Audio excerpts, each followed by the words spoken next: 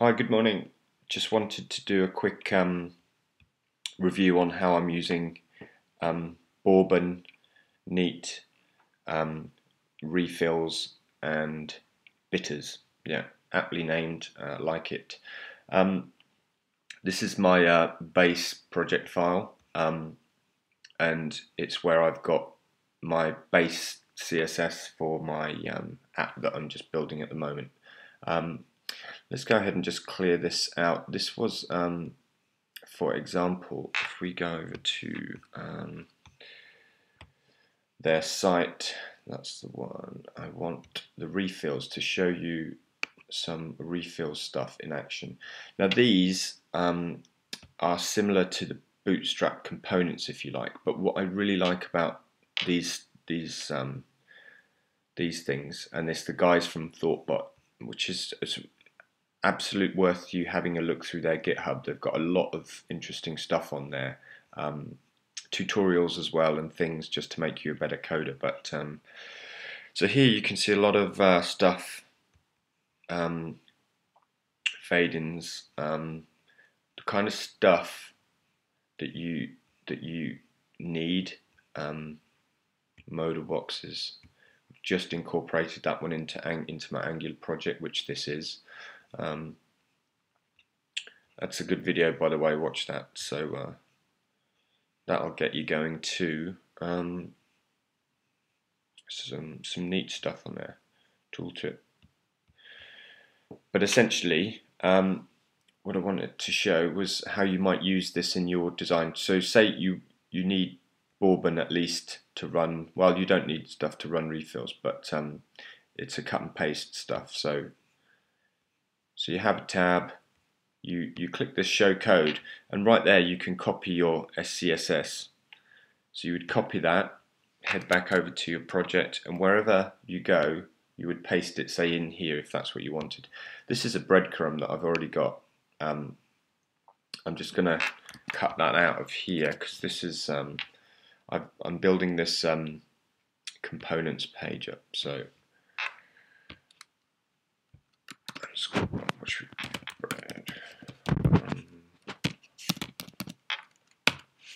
I'm just going to paste that in there. Alright, so I've just separated that out. Um, let's close it up. But we want to load that in. So my import, and because it's an SCSS import, you don't need the file name or the underscore. It's doing that. That kind of tells you um, that maybe you shouldn't be editing that file directly if it's a library um, or you, maybe you should be overriding it but it's just more of a convention. Don't need to worry about that too much. So we called it breadcrumb. And now that will import just fine. Um, when I first installed Bourbon and Neat I thought it wasn't working because my core CSS file was that, that got produced was empty. Um, but actually that that that's the beauty of it is that it um, and for example compared to when you run bootstrap you you get a ton of css that you that you quickly find you need to override um, in many scenarios if you're doing something quite custom which is why I went this route.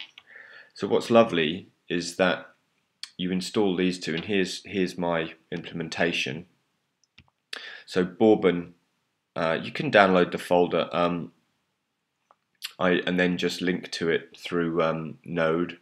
Um, I got Neat through Bower, but I used uh, Bourbon from Node. All that means is that it pulls it into a different folder here, so you can just um, go ahead and import it from from there. It saves um, saves it being there. So actually, I'm not using this folder at all. We can go ahead and uh, delete that one. That was from an older um, way that I was trying to do it. Um, similarly, um, Neat has come in under Bower. And if, if you've got stuff in these directories, really you shouldn't be editing anything in these because these are sort of libraries. Um, that's not the point. So anything you want to do, you should be overriding it in your own source files. Um, and also you shouldn't really be um, committing any of this stuff to your repository. So that out of the way, starting to digress slightly, but let's have a look, see where we're at. CSS folder. Source.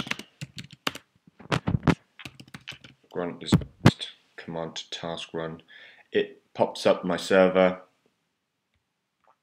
um, and basically this is my base application so far. Here you can see my my breadcrumb that's styled. This is just a, a modal that I've got. And here, for example, we see we haven't got any base font defined yet. Um, and if we head on over to um, the created um, core CSS, you'll see I've got breadcrumb, which is getting pulled from my components, and the modal.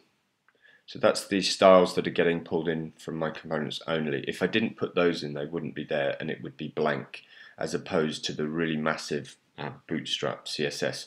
So getting back to my point about what's really nice about Bourbon and that is that really um, up to this stage, if you just import those two, you will have absolutely no CSS.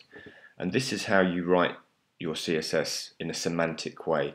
So focusing on, say, a section tab, uh, tag and an article, you have mix-ins. And this, you can see, is creating a, a column that spans three columns. And you're setting that for uh, an aside inside a section tag. But basically, this this means that our HTML. Uh, do I have any example of that one? Uh, don't I do. Modal. No, I don't think I have that example. Okay, moving on. Yeah, so essentially, um, you're building out your core from from a very um, neat way, and let's just delete that. That's that's done. So you'll end up with something like this. If I remove these imports, click save, Grunt is set up to automatically update. So it has now updated what I've just done. Um, and basically, you see the styling has gone. I haven't even needed to refresh. That's all part of the Grunt magic and the node happening in the background um, and live reload.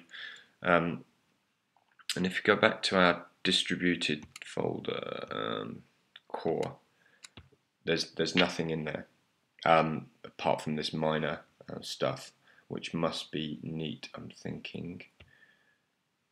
Uh, let's check. So just done the save again. Yeah. So neat is bringing in really next to nothing, but neat is is doing is enabling you to use um, the grid that I just showed you. You don't get any CSS, and that's the important thing to realize is that Neat and Bourbon are giving you these mix-ins that that is this kind of thing. So that is available because you've got Neat and Bourbon here. Neat and Bourbon do not give you any CSS past what that minimal amount were. Um, so that talks talks to um, Neat and Bourbon through through the Sass um, system. So we don't need that. But what I'm going to do is just show quickly um, the refill. So I'm putting back in my modal and breadcrumb, and you'll see now that core CSS has now been rebuilt with modal and the breadcrumb stuff. And I will kind of build that stuff out. And modal and breadcrumb came from the refills. So if we go back to say um, the components and we look at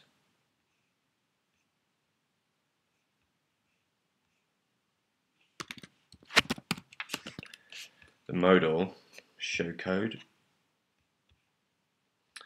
we have some JavaScript that I actually made into an Angular directive um, and this is the SCSS that you would copy that I was just telling you about. So basically you copy SCSS for the component you need and only the components you need. And that's the point. With Bootstrap you get everything. Um, and this um, is your HTML. So but the, the CSS is what you want here. So for all of these components, they're built for Bourbon and um,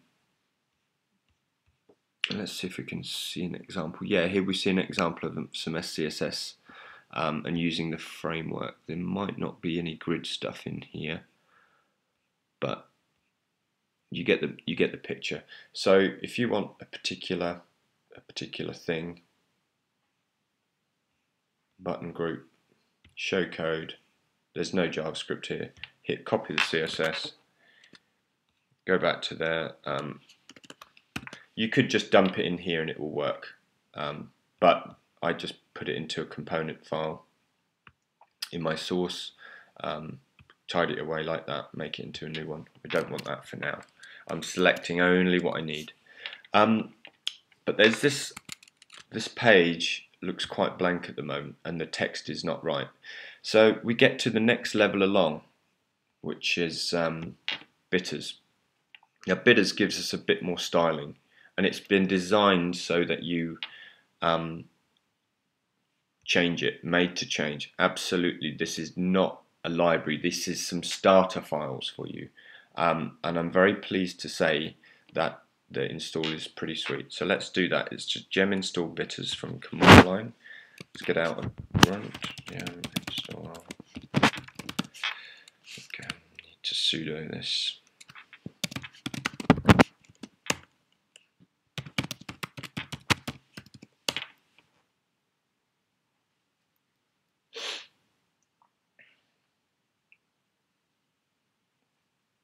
So this is just um, the Voodoo Ruby gem stuff in the background that I don't really uh, know too much about. It's a bit like um, Node stuff, I suppose. NPM, in a way, it, it, works in a similar way.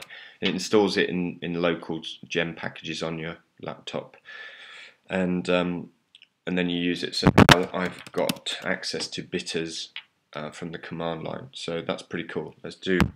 Um, but I need to run bitters from my Sass directory.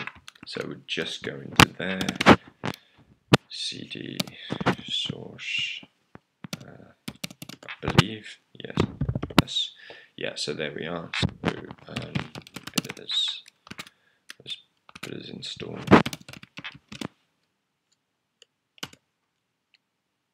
And we get the message base, base is where it's been installed to. So let's have a look. Uh, and here we go. Basically, we've got some imports again, some variables for uh, and some font stuff, which is all very cool.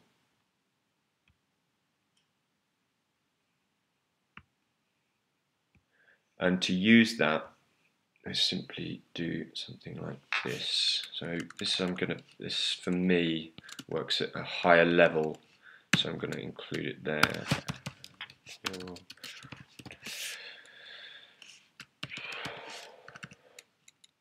And it's gonna be just base base.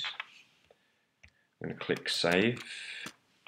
Um, we need to run grunt because we've come out of the, the grunt waiting mode. And here we go, we have a much nicer font now running already. Um, and if we look under the hood at what that, that's about, that's probably on this.